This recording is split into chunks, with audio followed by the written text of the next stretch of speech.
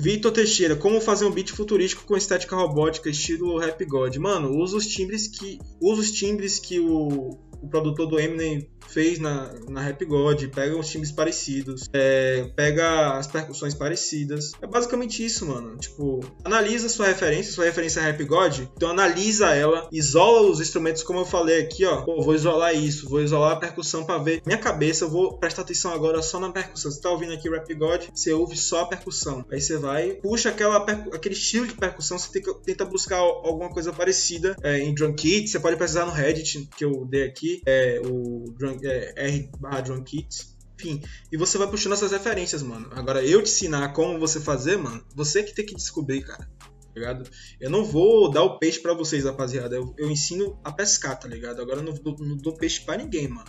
Sacou?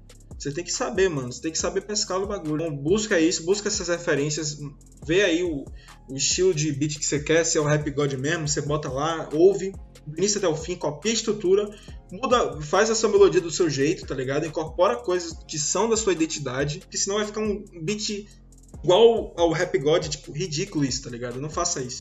Tem uma linha, mas, tipo, pega uma referência, mas não copia, tá ligado? É só isso que eu defendo, beleza?